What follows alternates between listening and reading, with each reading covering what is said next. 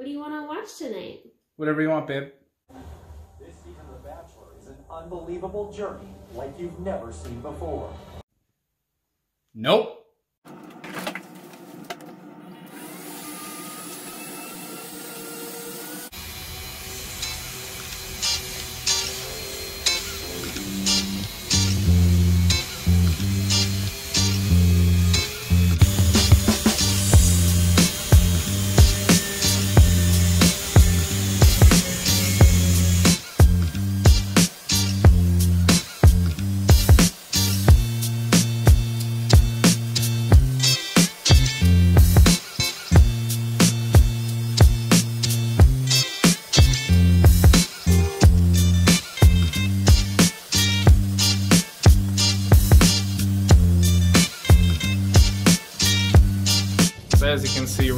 Doing some polishing today. I got three Lake Superior agates from the 2019 season.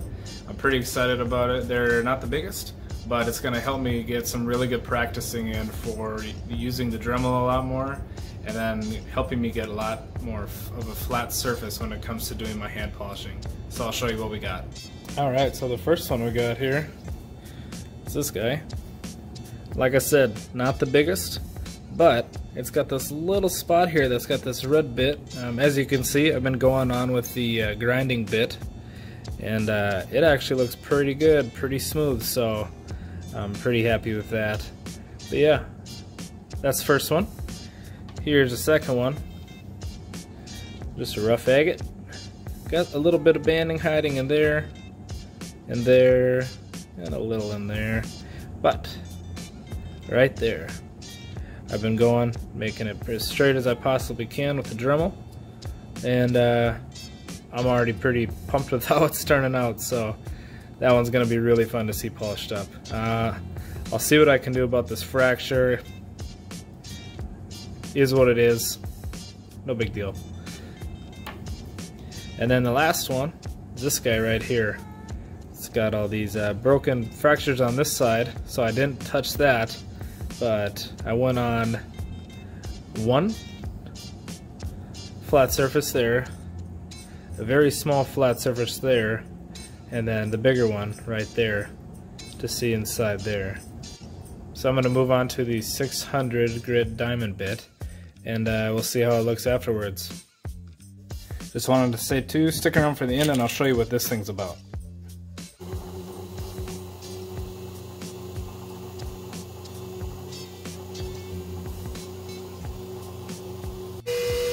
Alrighty, so we're going to start with the little red one with the 600 grit diamond bit.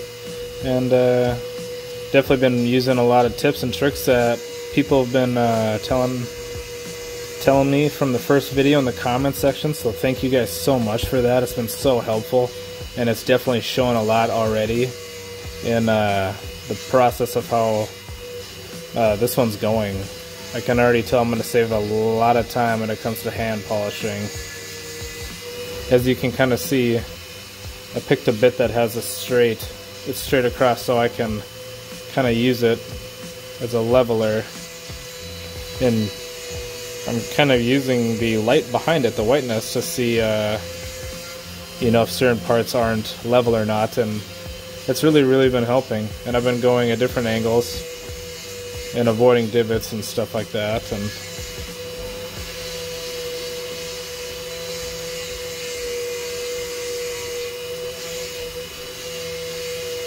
And another thing I'll do is I'll take it and put it down here, but I'll put it against the sidewall and push push on there to see if uh, it's level or not. And if it rolls a certain way, I'll hit that area a little bit. And yeah, it's been making it really easy.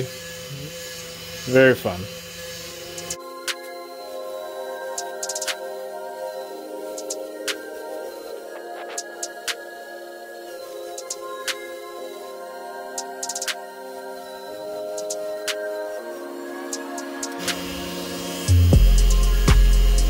Alright, so we're going to move on to this guy right here. Let's see if you can see it. Not bad, not bad. Look, looks really good wet.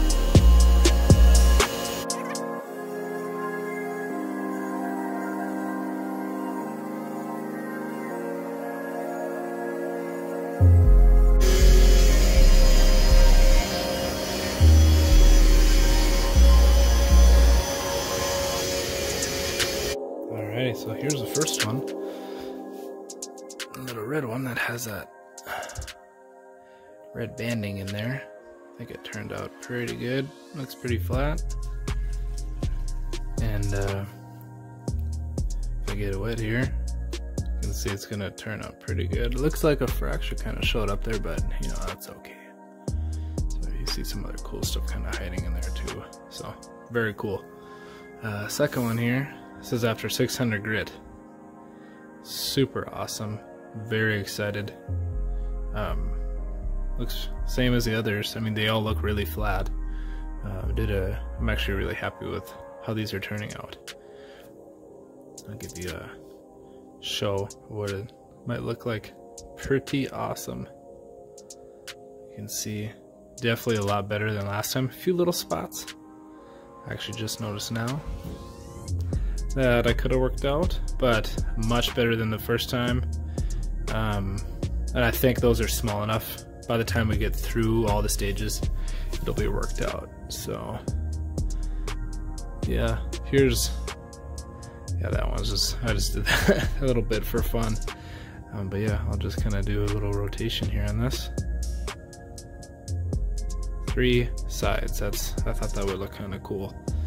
Um, but yeah, same thing, checked them all. They look pretty flat. So I'm gonna move on to the uh, hand polishing. I'm actually, I feel like I'm whipping through this. This is awesome. All right, so I got them all ready to go. I cut them out each piece of the, uh, probably doesn't say it on the back since I cut it, 1000 grit sandpaper.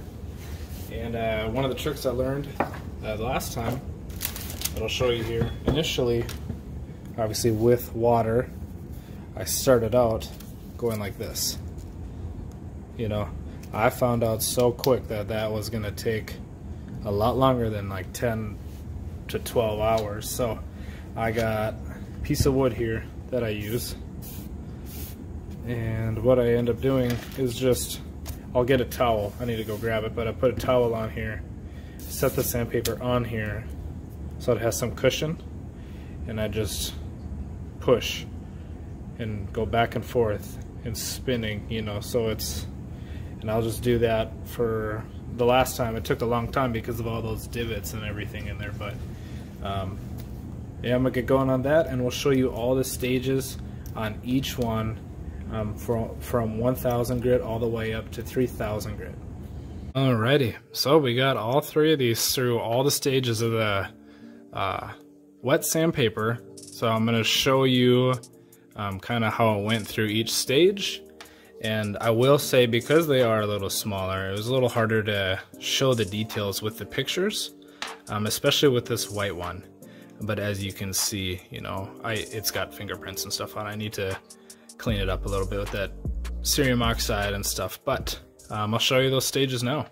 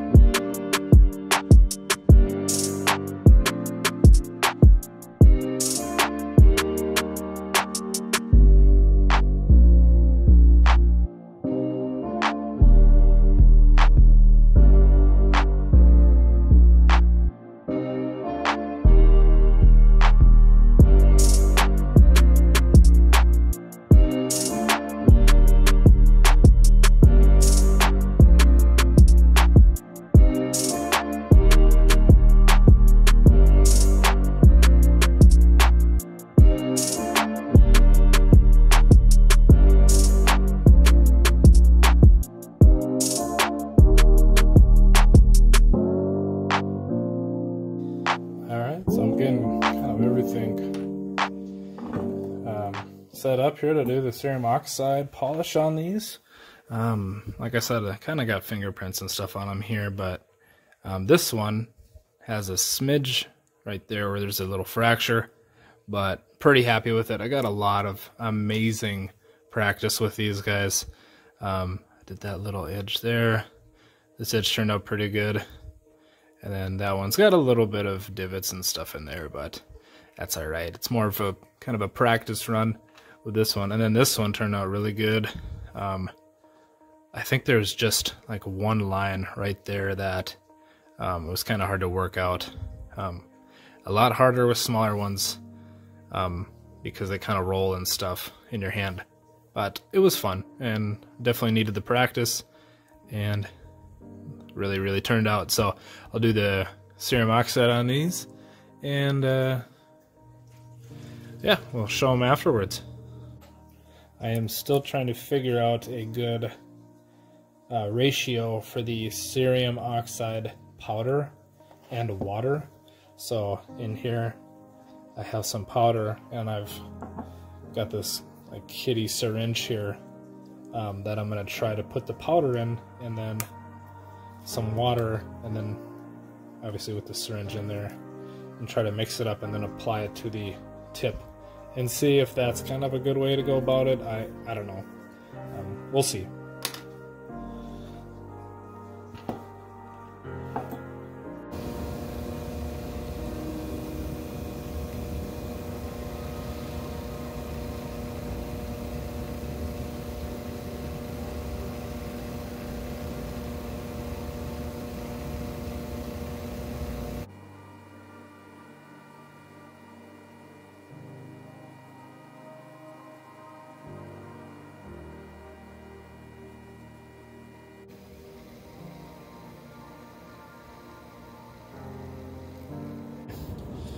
Here's that last one. Get going on that. Holy moly. Oh my gosh. My hand slipped, sprayed it everywhere. Oh no.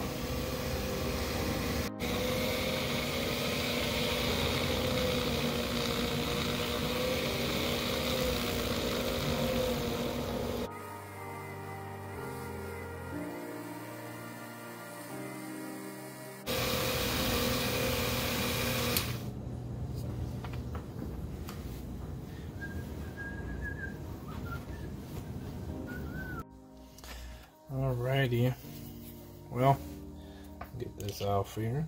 Ready for the next polish. What I'm going to do now is get these cleaned up and we will show you how they turned out. So we got them all cleaned up here. Um, so like I said, you can kind of see the fracture there. Um, try not to touch it, I think I might have put a little bit of fingerprint on there. But that turned out pretty good, especially for a little guy. Um, good practice trying to get it as level as possible. And uh, really fun. Really excited to show the before and after on this one.